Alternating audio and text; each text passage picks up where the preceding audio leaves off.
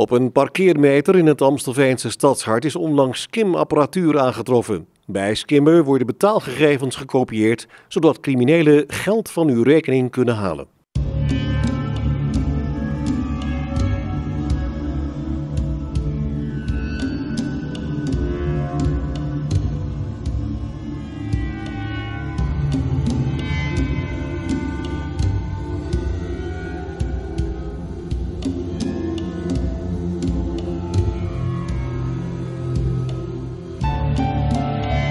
En zo gebeurt het voor je het doorhebt.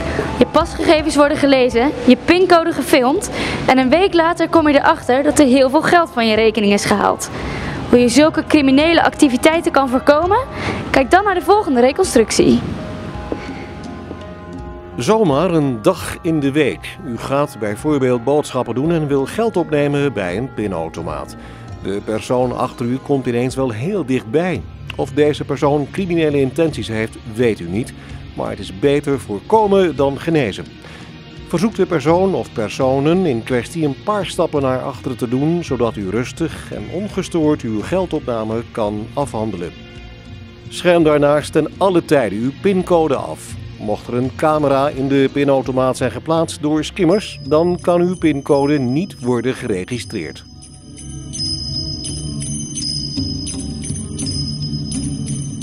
Ga dus niet in op afleidingsmanoeuvres van mensen achter u in de rij of eromheen. Concentreer u alleen op de acties die nodig zijn om uw geld op te nemen met inachtneming van de getoonde adviezen.